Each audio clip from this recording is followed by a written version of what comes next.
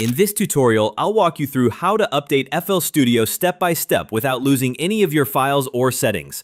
Once you've downloaded the update, make sure FL Studio is completely closed before continuing. I also recommend right-clicking the installer and selecting Run as Administrator to avoid any permission issues.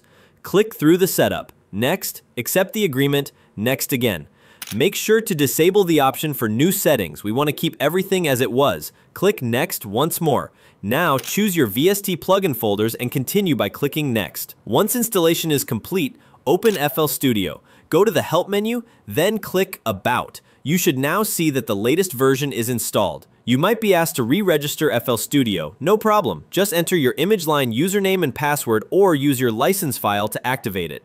Now, if I go to the File menu, all of my folders are still there, exactly how they were before. My user data folder is also untouched. So after updating, everything stays the same and none of your settings or files are changed.